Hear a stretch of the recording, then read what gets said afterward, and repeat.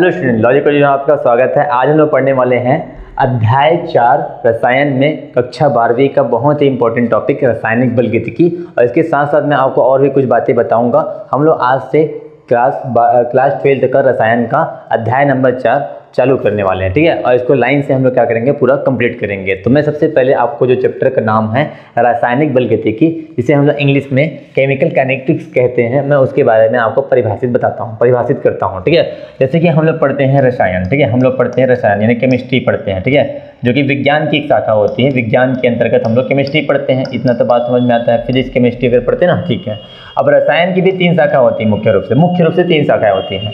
एक होता है अकार्बनिक रसायन अकार्बनिक रसायन। ठीक है, एक होता है भौतिक रसायन भौतिक रसायन, और एक होता है कार्बनिक रसायन कार्बनिक रसायन। ठीक है, मैं आपको ये बताना चाह रहा हूँ कि ये वाकई में आया कहाँ से है, ठीक है? तो भौतिक रसायन के अंतर्गत ही हम लोग पढ़ते हैं रासायनिक उष्मागतिकी को। रासायनिक उष्मागतिकी जो टॉपिक आता है सॉरी रासायनिक बलगतिकी। रासायनिक बलगतिकी वाला जो टॉपिक है, वो आता है भौतिक रसायन के, ठीक है? तो आप इसको बोल सकते हैं, और इसके अंतर्गत नाम से जैसे मैं बता रहा हूँ, गति। यानी रासायनिक अभिक्रियाओं की गति। या फिर उसकी जो अभिक्रिया है, वो कितने पदों में संपन्न रही यानी उसकी क्रिया विधि, पदों में कितने पदों में संपन्न होती है, या उसकी क्रिया विधि का अध्ययन करते हैं? इसको आप ऐसा कुछ बोल रहे हो इसका परिभाषा, ठीक है? भौतिक रसायन की वह शाखा। एक शाखा है, इसको मान लो पेड़ है, इसकी शाखा है।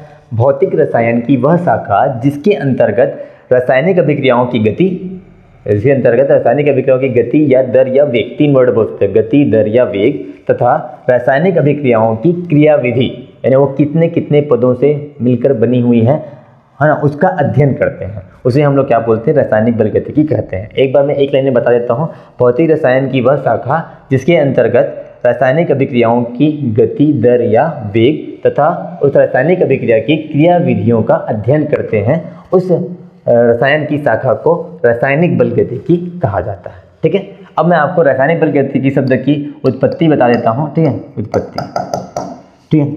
यह जो है, ग्रीक भाषा के, ग्रीक भाषा के, ग्रीक भाषा की काइनेसिस काइनेसिस।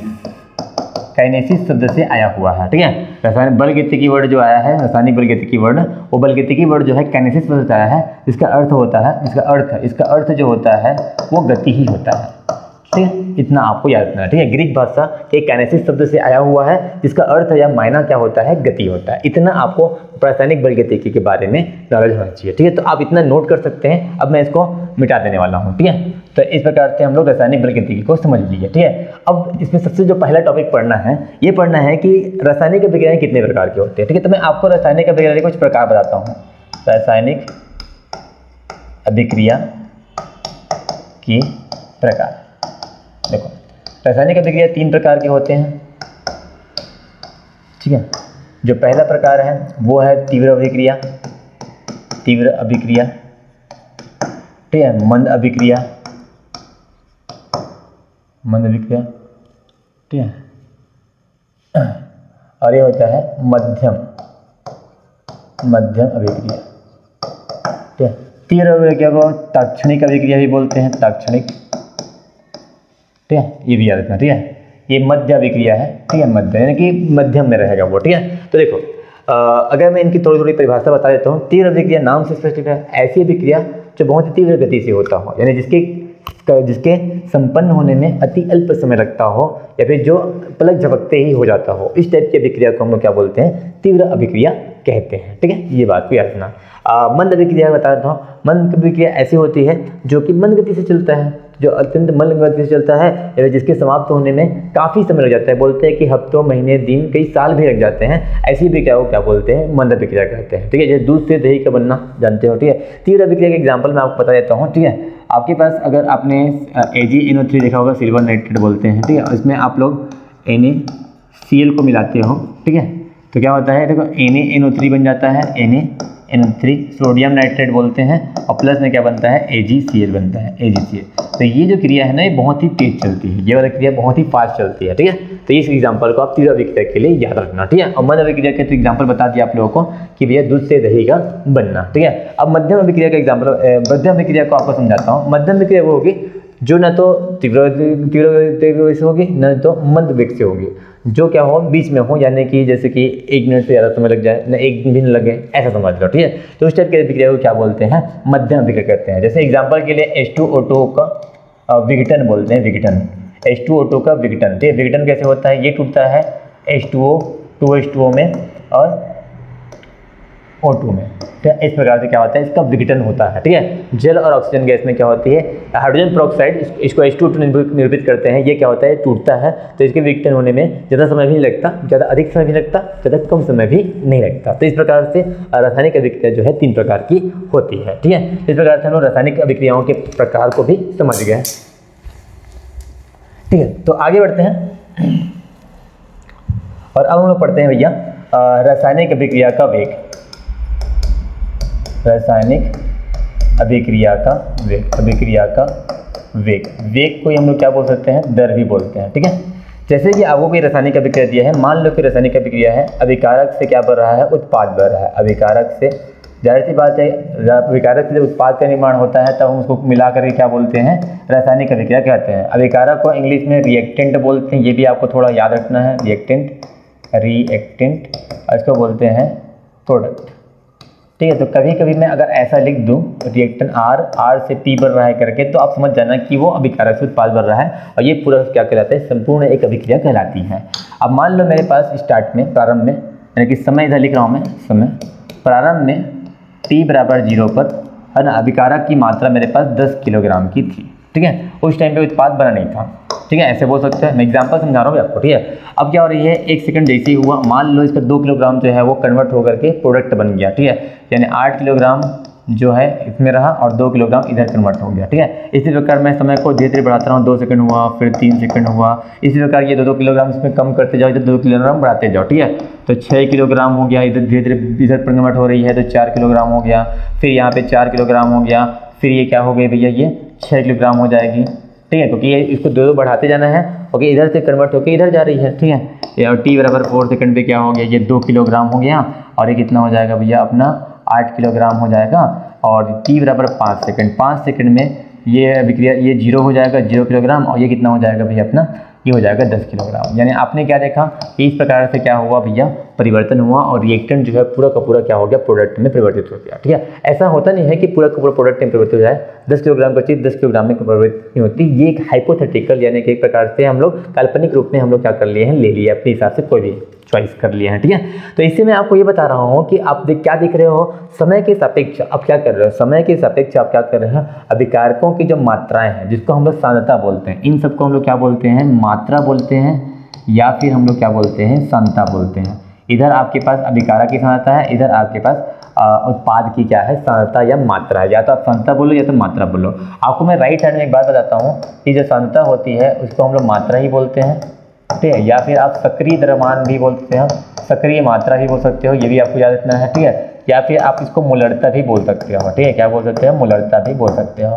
ठीक है? जिसे हम लोग संकेतिक रूप में क्या लिखते हैं, ऐसे लिखते हैं, या फिर कभी कभी इसको सी से या फिर एम से भी क्या करते हैं, निरूपित करते हैं। और इनका जो मात्रक होता है मात्रक, वो आपको याद रखना सांद्रता का जो मात्रक होता है, सांद्रता का जो मात्रक होता है, वो मोल प्रति लीटर। मोल प्रति लीटर होता है। ये भी आपको याद रखना है। ये कुछ बातें आपको नॉलेज के लिए आपको याद रखना है। मैं यहाँ पे लिख के दे देता हूँ। ठीक है? चलो, ठीक है। इधर आते हैं हम लोग। अभी हम लोग क्या चल रहे हैं? अभिक्रिया का वेग चल रहे हैं। वेग वेग को पढ़ने वाले हैं। तो देखो, समय के सापेक्ष क्या हो रहा है? अभिकारक की सहायता में क्या आ रही है? सहायता मात्रा में कमी हो रही है और उत्पाद की सहायता में क्या हो रही है? वृद्धि हो रही है। ठीक है? तो इसी को ही हम लोग क्या बोलते हैं? रासायनिक अभिक्रिया का वेग बोलते हैं। समय के सापेक्ष अभिकारक या अभिकारक की सहायता में वृद्धि या उत्पाद की सहायता सॉरी अभिकारक की सहायता में कमी और उत्पाद की सहायता में वृद्धि की दर को हम लोग क्या बोलते हैं? रासायनिक अभिक्रिया की दर या वेग कहते हैं, ठीक है? इसका मैं फार्मूला बता देता हूँ आपको, ठीक है? फार्मूला ये बनने वाला है, जैसे कि मैंने बोला, आपने अगर इलेवंथ में वेग पढ़ा होगा, वेग वेग तो पढ़े होंगे ना? तो वेग का सूत्र क्या लिखते थे? वेग बराबर दूरी बटे समय लिखा करते थे, दूरी बटे समय लिखा करते थे, ठीक है? समयांतर सॉरी विस्थापन बटे समयांतर सॉरी ठीक है? विस्थापन बटे समयांतराल ऐसे लिखा करते थे तो कुछ ऐसे ही आपको भी बनाना है, ठीक है? तो यहाँ पे अभिक्रिया का वेग है, मैं आपको समझा रहा हूँ ना क्या है, ठीक है? अभिक्रिया का वेग, अभिक्रिया का वेग। वहाँ पे तो वस्तु का वेग पढ़ते थे ग्यारहवीं में, यहाँ पे है अभिक्रिया का वेग, ठीक है? तो विस्थापन नहीं आएगा, यहाँ पे आएगा अभिकारक अभिकारक या फिर उत्पाद आएगा। अभिकारक या उत्पाद की सांद्रता। अगर मैं ब्रैकेट लिख देता हूँ, ऐसे करके तो आपको समझना है सांद्रता है, ठीक है? और बटे संयंत्र, ठीक है?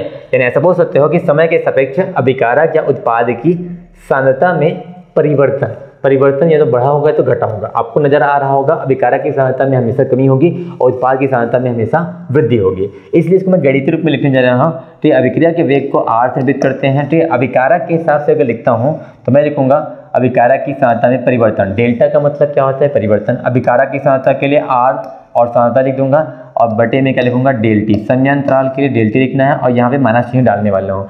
माइनस चिन्ह जो है अभिकारक के लिए इसलिए दे रहा हूँ क्योंकि इसमें अभिकारक की सांद्रता क्या हो रही है? कमी हो रही है। और इसी को चाहो तो याद करके आप उत्पाद के फॉर्म में लिख सकते हो। उत्पाद के हिसाब से लिखते उत्पाद के हिसाब से, उत्पाद की सांद्रता बटे डेल्टा टी और यहाँ पे लिखते प्लस।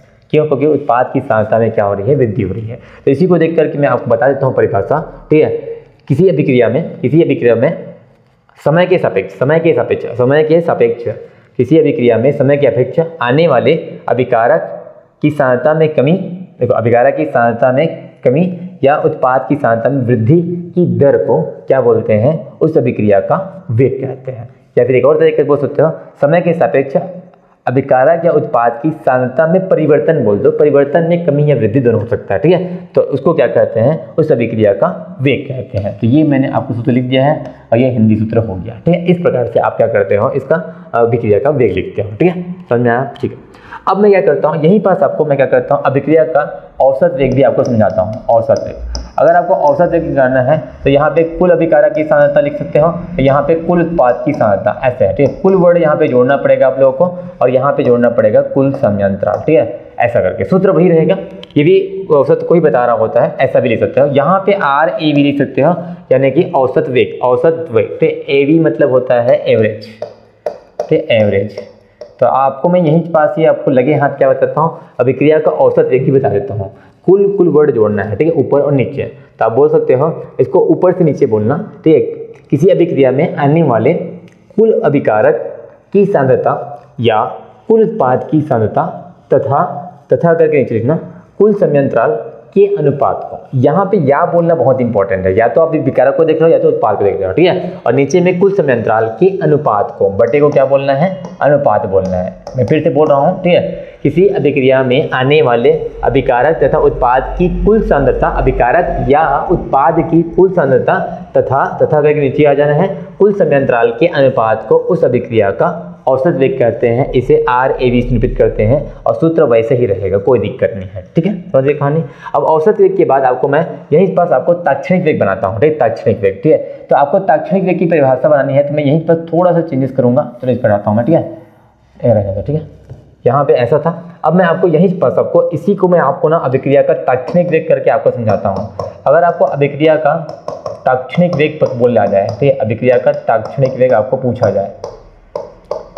ठीक है? जिसको हम लोग आर से निरूपित करेंगे, कोई दिक्कत नहीं। तो आपको कुछ नहीं करना है। यहाँ पे जो डेल्टा डेल्टा वाला पार्ट दिख रहा है, इसको आपको डी डी लिख देना है, ठीक है? और कुछ नहीं करना है, ठीक है? तो माइनस डी आर बटे डी टी या फिर आप लिख सकते हो उत्पाद के रूप में डेल्टा पी बटे डी टी डेल्टा नहीं बोलना है बट डी पी बोलना है, ठीक है? यानी एक प्रकार से अवकरण बन गया। उसकी परिभाषा कैसे बोलोगे? नीचे से। समय के सापेक्ष। दोनों में क्या हो रहा है? समय के सापेक्ष। अभिकारक या उत्पाद की अवकलन को, है ना देखो, अभिकारक या फिर क्या हो रहा है? उत्पाद के अवकलन को क्या कहते हैं? उस अभिक्रिया का ताक्षणिक वेग कहते हैं। फिर से देखना। समय के सापेक्ष अभिकारक या उत्पाद की सांद्रता की अवकलन को क्या कहते हैं? अभिक्रिया का ताक्षणिक वेग कहते हैं। इस प्रकार से आप क्या कर परिभाषित कर सकते हैं। अब मैं आपको किसी अभिक्रिया के लिए ताक्षणिक वेग आपको और औसत वेग आपको निकाल के बता भी देता हूँ, आप लोग कैसे निकालोगे। ठीक है? जैसे मेरे पास इसको मिटा रहा हूँ मैं। हम लोगों को क्या दिया है? एक अभिक्रिया दिया हुआ है। मान लो मेरे को एक अभिक्रिया दिया हुआ है। अभिक्रिया ये है कि मान लो दो ए से, समझ लो तीन बी बन रहा है। और क्वेश्चन ये है क्वेश्चन ये है यहाँ पे कि इसका ताक्षणिक वेग लिखना है। ताक्षणिक वेग। ताक्षणिक वेग ठीक है तो ताक्षणिक वेग कैसे लिखोगे? क्वेश्चन मार्क ठीक है? तो आपको कुछ नहीं करना है। आपको तक्षणिक वेग आर बराबर, ठीक है? आपको एक बार अभिकारक को पकड़ना है। अभिकारक और ताक्षणिक के लिए आपको डी लगाना रहता है ओकुलम ना? ठीक है तो एक बार अभिकारक के हिसाब से ए है अपने पास अभिकारक और डी बटे चूँकि अभिकारक को ले रहे इसलिए माइनस लगाना पड़ेगा। और इसी को बराबर करके उत्पाद लिखोगे, ये अभिकारक के हिसाब से बात हुआ। अभिकारक के हिसाब से। ठीक अब उत्पाद को देखो भाई। ठीक है उत्पाद पर लिखोगे तो डी बट डी बी बटे डी टी ठीक है? और यहाँ पे प्लस लिखना। अब एक बात और ध्यान रखना, जब हम लोग अभिकारक हो चाहे उत्पाद हो, दोनों को लिए अगर आप अभिक्रिया का वेग लिखते हो कि दोनों के आधार पर निकलता है, दोनों के क्या होता है वेग में परिवर्तन होता है ना इसलिए, ठीक है? दोनों की सांताओं में परिवर्तन होता है, ठीक है? तो यहाँ पे आपके पास जो ये नंबर है ये, इसको हम लोग बोलते हैं रस समीकरण मितीय गुणांक, ठीक है? रस समीकरण मितीय गुणांक। ये हम लोग केमिस्ट्री में इसको नाम देते हैं। रस समीकरण मितीय गुणांक बोलते हैं। इनको आपको क्या करना है? बटे में डालना है, एक के बटे में। तो एक के बटे में डाल देता हूँ, यहाँ पे दो है तो अभिकारक के दो है, यहाँ पे एक बटे तीन, क्योंकि यहाँ पे तीन है। ये भी आपको ध्यान रखना दस मिनट उदाहरण को क्या करते हैं? अदाक्षणिक वेग लिखते समय क्या करते हैं? बटे में डाल देते हैं, रख देते हैं। ठीक है इस प्रकार से कंप्लीट क्या हो जाएगा? ये आपका बन जाएगा अभिक्रिया का ताक्षणिक वेग। अगर ताक्षणिक वेग नहीं पूछ करके अगर ओनली बोलता अभिक्रिया का, वेग बस पूछता वेग या औसत वेग पूछता। तो यहाँ पे डेल्टा डी को हटा के क्या लिखता डेल्टा लिख देता डेल्टा डेल्टा, बस लिखते हैं। बस इतना ही काम करते हैं, ठीक है? ताक्षणिक वेग के लिए डी आता है। बाकी कोई भी वेग अगर पूछता है आपको तो आप वहाँ पे डेल्टा लिखना। बाकी रस समीकरण मित्र गुणांक को क्या करना है? बटे में लिखना है। याद रखिएगा, अभिकारक के लिए मानस लिखते हैं सामने में, क्योंकि अभिकारक की सहायता में कमी हो रही होती है। उत्पाद के लिए हम लोग क्या लिखते हैं? धारण लिखते हैं, क्योंकि उत्पाद की सहायता में वृद्धि हो रही होती है, ठीक है? तो इतना हम लोगों ने पढ़ा आज की वीडियो में। रासायनिक बलगति की क्या होता है? अभिक्रिया की दर कैसे निकालते हैं, गति कैसे निकालते हैं, उसका तक्षणिक वेग क्या होता है, उसका औसत वेग क्या होता है, ठीक है? इतना काफ़ी है। अगर आपको ये वीडियो समझ में नहीं आया होगा तो आप इस वीडियो को रिवाइंड करके देख सकते हैं। अगली वीडियो का इंतज़ार कीजिए। धन्यवाद।